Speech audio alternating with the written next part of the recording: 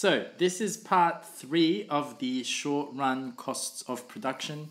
Hopefully it is the last part of the short run costs mini series and this is video number six in theory of the firm.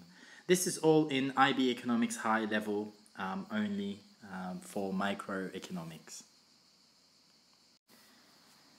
In the previous video, I distinguished between total costs, average costs, and marginal costs, and I introduced those three concepts and we saw what they looked like um, as diagrams. We had a look at the concept of average fixed cost, average variable cost, and average total cost. I also introduced the concept of marginal cost and we had a look at how to calculate each of these from a set of data. If you will remember or refer back to the previous lesson, the marginal cost curve looks like a, um, tick. Uh, the average total cost curve looks like a cup. Um, it falls for a certain amount of output and then it reaches a minimum and then it rises again. And the average variable cost looks pretty similar. It decreases at first and then it rises again. Now, one of the learning outcomes in this unit is to be able to explain the relationship between product curves and cost curves. So these two product curves are product curves that we've seen before. This is the marginal product, and this is the average product. Now we remember that while marginal product is higher than average product, diminishing returns has not set in yet.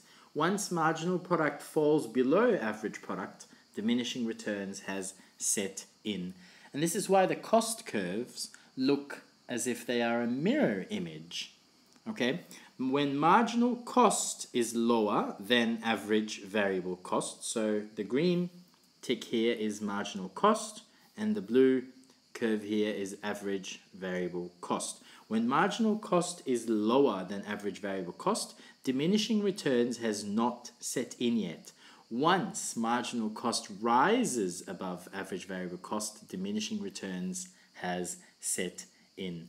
Uh, they look like they are mirror images of each other. However, you need to remember that on the vertical axis in this diagram we have output.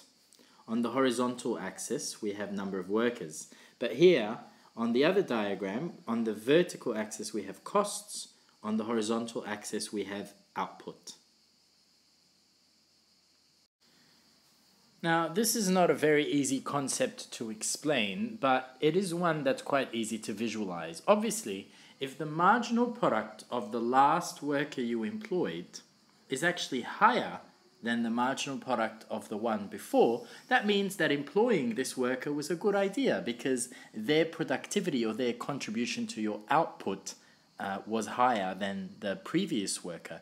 Therefore, it makes sense economically to employ that worker because that worker has increased your firm's productivity and therefore has also decreased the firm's marginal cost. Now, we know that when marginal product is higher than average product, average product will be increasing. When marginal product is lower than average product, average product will be decreasing. The opposite is true with marginal cost and average cost. When marginal cost is lower than average cost, marginal cost will drag the average cost down, so average cost will be decreasing. When marginal cost is higher than average cost, it will drag the average cost upwards and average cost will rise. So so a final recap of the relationship between the product curves and the cost curves and their relationship to the law of diminishing returns. Remember in an earlier video I explained that when marginal product is higher than average product, average product will be rising, it will be increasing. Once marginal product starts to decrease, we say, economists say, diminishing returns has set in. Then, when marginal product starts to become lower than average product, it will drag average product down and average product will decrease.